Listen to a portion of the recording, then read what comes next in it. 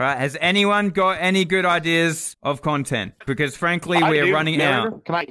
Okay, go. Panzer, go. Let's go. My my trivia game show. Can we try it? Nah, that's gay. Yeah, that is super gay.